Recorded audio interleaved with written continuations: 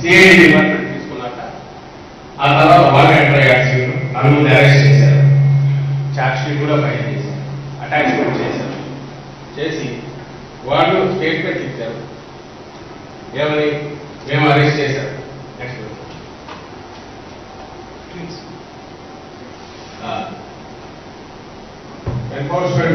uh, he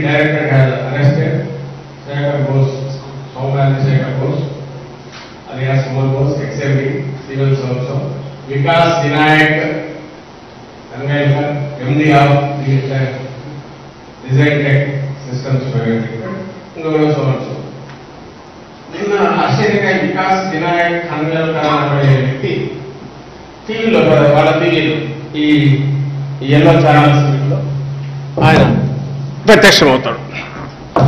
అరగంట సుదీర్ఘ ఉపన్యాసం ఇస్తాడు. అసలు కేసు లేదు.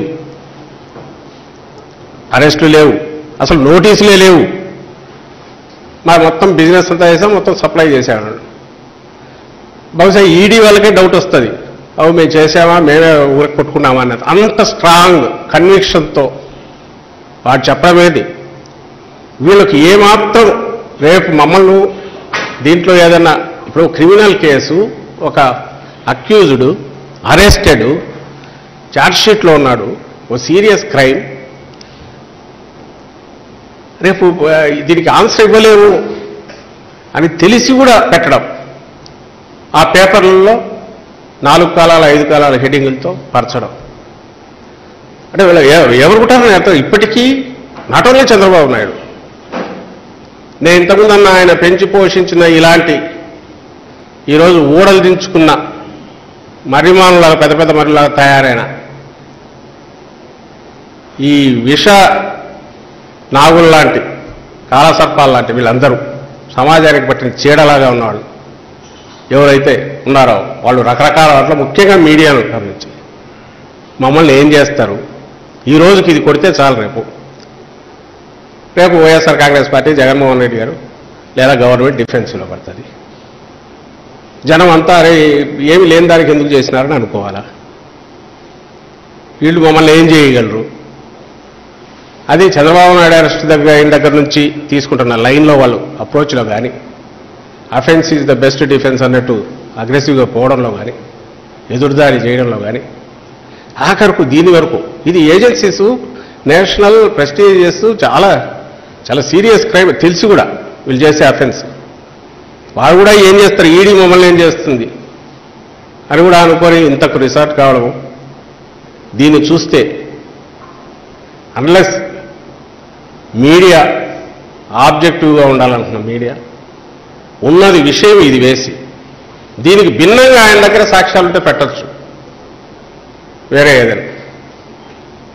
అలా కాకుండా మీరు పొలిటికల్ దీంతో చేస్తున్నారట ఏమంటారు మీరని మాకు గొట్టాలు పెట్టి. దానికి ఆన్సర్ ఇవి మేమేదో ఇచ్చుకొని.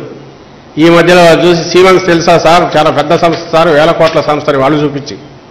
సీమెన్స్ వేల కోట్ల సంస్థ అంతా కదా మీరేమంటారు మమ్మల్ని అడిగి. దానికి ఆన్సర్ ఇవ్వాలని ఇదే దీనికి సరిపోతుంది. విషయం మూడు వందల డెబ్బై ఒక్క కోట్లు పబ్లిక్ మనీ నేరుగా దోపిడీ చేసి క్యాష్ అట్లాగే బయటికి వెళ్ళి క్యాష్ డ్రా చేసి చంద్రబాబు నాయుడు జోబులోకి వచ్చింది అనడానికి బలమైన ఆధారాలు ఉన్నాయి. వాటిని ఇంతకుముందు మా వరకు అందుబాటులో ఉన్నవి చూపించాము ఇన్వెస్టిగేటివ్ చేసి వన్ సిక్స్టీ ఫోర్ స్టేట్మెంట్లు స్వర్ణ స్టేట్మెంట్లు మేజిస్ట్రేట్ దగ్గర అవి ఉన్నాయి ఉన్నట్టున్నాయి. వాళ్ళే చెప్పారు. డిమాండ్ రిపోర్ట్లో కూడా మెన్షన్ చేశారు. ఇవి ఉన్నాయి కాబట్టి చంద్రబాబు నాయుడు గారు కూర్చోబెట్టి అయ్యా మీద ఇట్లా వస్తున్నాయి మీరేమంటారని తీసుకోవాలనుకుంటే మనం రెండు గంటలో గంట టైం ఇచ్చినట్టున్నాడు ఆయన. తిరిగి తిరిగి వచ్చి బాత్రూంలో కాసేపు ఉండి లేదా నా ఏజ్ అని కాసేపు రెస్ట్ కావాలని చెప్పి వాళ్ళకి పెద్ద అధికారులకు దొరికినట్లేదు టైం. ఆ దొరికినప్పుడు కొద్దిసేపట్లో తెలియదో ఇట్లాంటివో ఏవో చెప్పినట్టున్నాడు. మీరేం అడుగుతున్నారో మాకు తెలియట్లేదని. సరే మధ్యలో దబాయించి కూడా ఉంటారు ఎందుకంటే అరెస్ట్ చేస్తున్నప్పుడు అధికారులు పోయినప్పుడు అక్కడ ఎట్లా దబాయించారో చూశారు అందరూ. ఎఫ్ఐఆర్ లేకుండా ఎట్లా వస్తారని దబాయించారు. ఆయనకు తెలియక కాదు దబాయిస్తే అవతల డిఫెన్స్లో పడతాడు. నలభై ఏళ్ళ హిస్టరీ. పెద్ద ఆయన ఎందుకు వచ్చినది జాగ్రత్తగా ఉంటారు. దాటేసేయచ్చు అనేది. అవి ఇక చల్లవని ఇప్పుడు కూడా రియలైజ్ కాకపోతే ఈ భ్రమలోనే నేల మీదకి దిగకుండా ఈ ఆ నాయకులు ఎవరైతే ఆయన వెనకబడి ఉండేవాళ్ళు కానీ ఆ పార్టీ కానీ జరిగింది తప్పు. ఘోరమైన నేరం. ఘోరమైన నేరం అని ఒక నేను ఇంతకుముందు అనటం బ్రాడ్ బేస్డ్ మొత్తంగా నేషనల్ ఏజెన్సీస్ వాటి నుంచి ఇన్వెస్టిగేటివ్ ఏజెన్సీ బయటకు తీసాయి.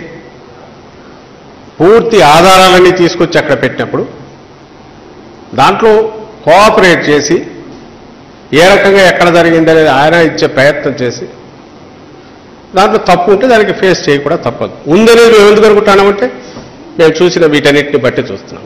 ఉందని ఎందుకు అనుకుంటున్నామంటే అసలు మాకు తెలియనే తెలియదు అగ్రిమెంట్ అయినట్టే నా అసలు కంపెనీ పెద్ద కంపెనీ అంటుంది. మా వాళ్ళకి డబ్బు రాలేదంటున్నారు. తెలియదు ఒకటి. మరి డబ్బులన్నా పోయింటే మూడు వందల డెబ్బై